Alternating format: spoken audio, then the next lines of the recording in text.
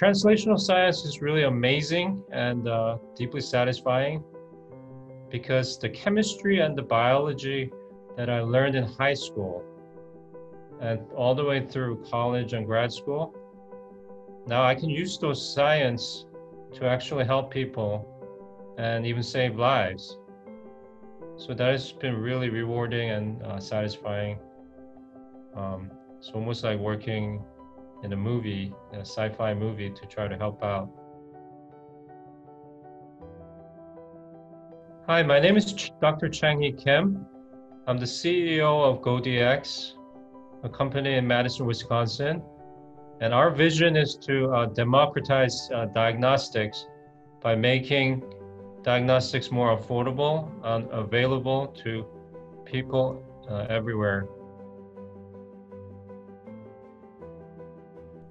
We're developing rapid, low cost, uh, point of care uh, tests for COVID that can be used anywhere without uh, sending samples to the lab, uh, which can take several days for people to get a result in the meanwhile infecting uh, uh, other people.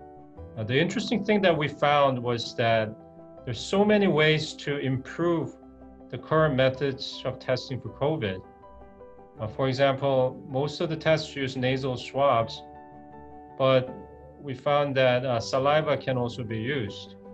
So that uh, sidesteps having to wait for nasal swabs, which are in very short supply right now.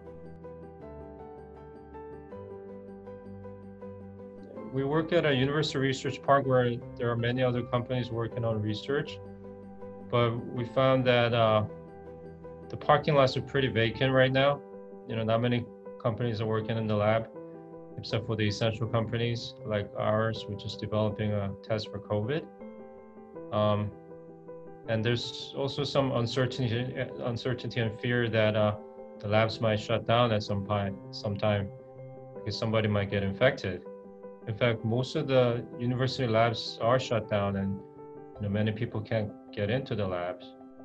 Um, and now we have to always prepare to order order reagents and supplies and materials in advance, because a lot of these uh, reagents and supplies are in back ordered or in short supply.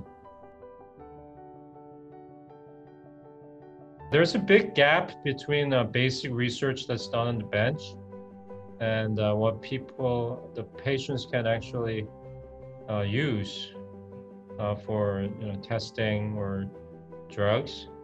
And translational science really bridges that gap you know, between the latest, most innovative research discoveries that are made on the lab, in the lab, and getting those uh, discoveries into the clinic